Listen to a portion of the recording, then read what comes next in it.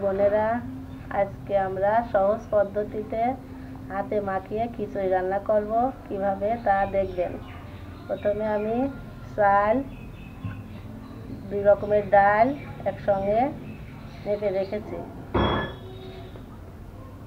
এবার আমরা মিশাই নেব, নিয়ে ধুয়ে নেব।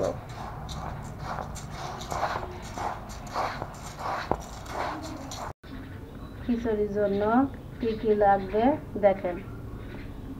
পেঁয়াজ কুচি, রসুন কুচি, জিরা বাটা, আদা বাটা, মরিচ কাটা, এলাচ, ফল, লবঙ্গ, তেজপাতা দালচিনি খিচুড়ি ভাতের সঙ্গে আমরা খাওয়ার জন্য বেগুন, পটল পিস পিস করে কেটে রেখেছি।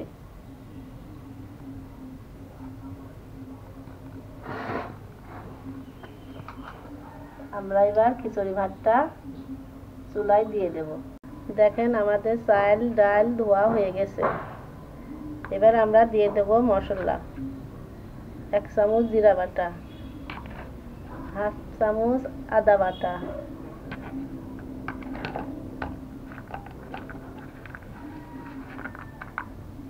দুইটা রসুন কুচি।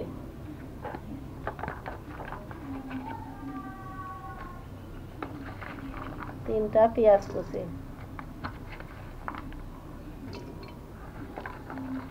দশ বারোটা কাঁচামরিচ কুচি।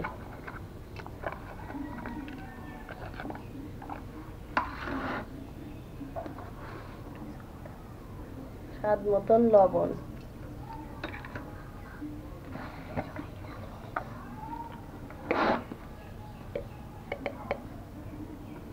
এক চামচ হলুদ।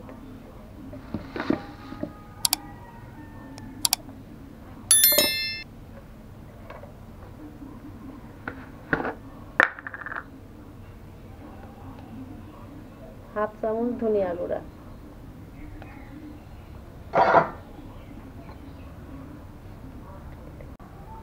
তিনটা তেজপাতা। ছোট ছোট ইলাচি ফল তিন চারটা।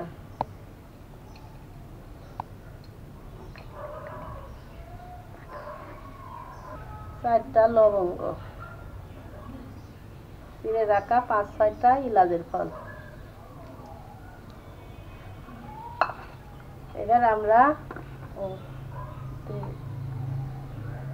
দিয়ে দিলাম পরিমাণ মতন তেল। এবার আমরা চাল, খিচুড়ি ভাতটা চাল দিয়ে ধুয়ে রেখেছিলাম, মশলা দেওয়া হয়ে গেছে, এবার আমরা মাখিয়ে নেব।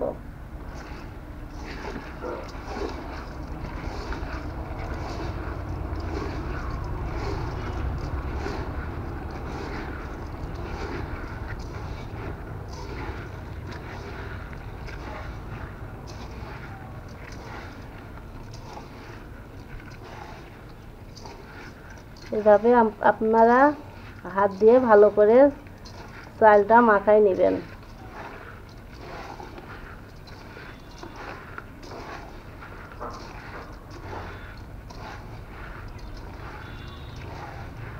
আমাদের চালটা মাখানো হয়ে গেছে, এবার আমরা দিয়ে দেব পানি। আমাদের পানি দেওয়া হয়ে গেছে।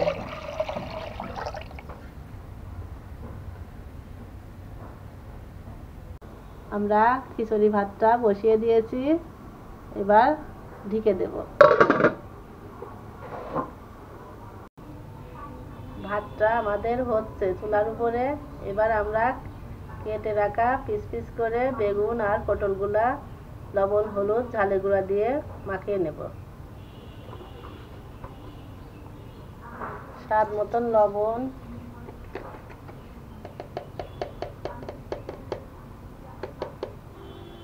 এক চামচ হলুদ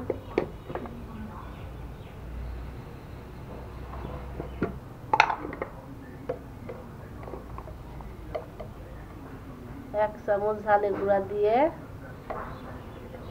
আমরা মাখাবো এগুলো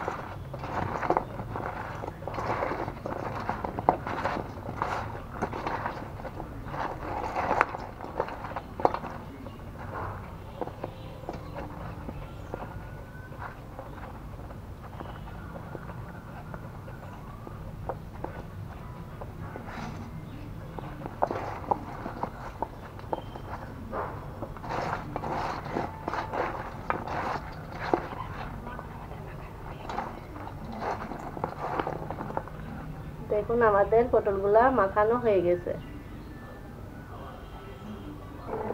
দেখুন, আমাদের ভাতটা ফুটছে আমরা একটু নেড়ে চেড়ে দেবো।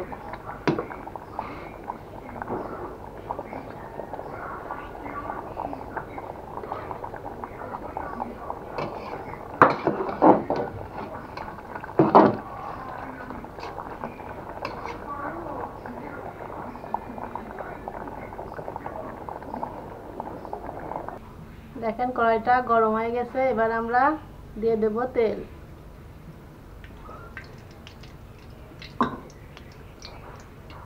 মাখানো সেই পটল আর বেগুন। বেগুন আর পটলগুলা মাখিয়ে রেখেছি, সেগুলো আমরা এবার ভেজে নেব।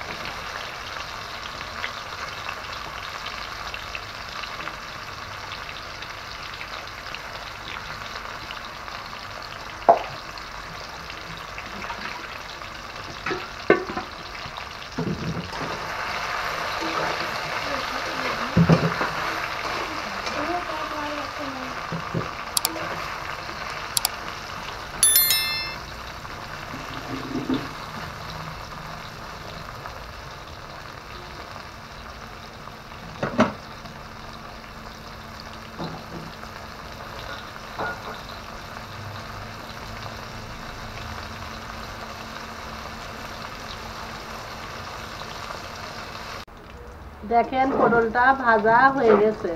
এভাবে লাল করে ভেজে নেবেন। আমরা এবার পটলটা নামিয়ে নেব। এবার আমরা বেগুনটি দিয়ে দিলাম।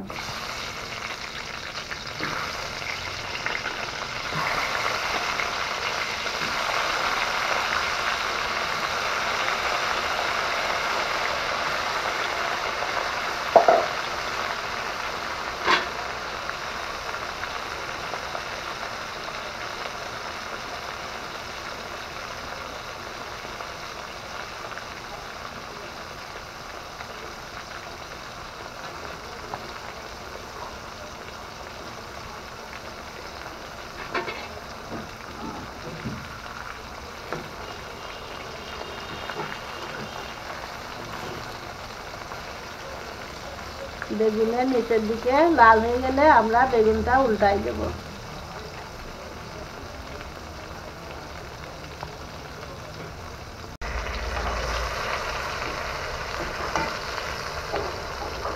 দেখেন আমাদের বেগুনটি লাল হয়ে গেছে, এবার আমরা উল্টাই দেবো।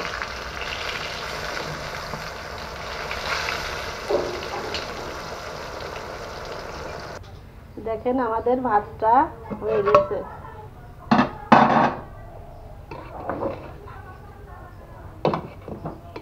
এবার আমরা ভাতটা নামিয়ে নেব।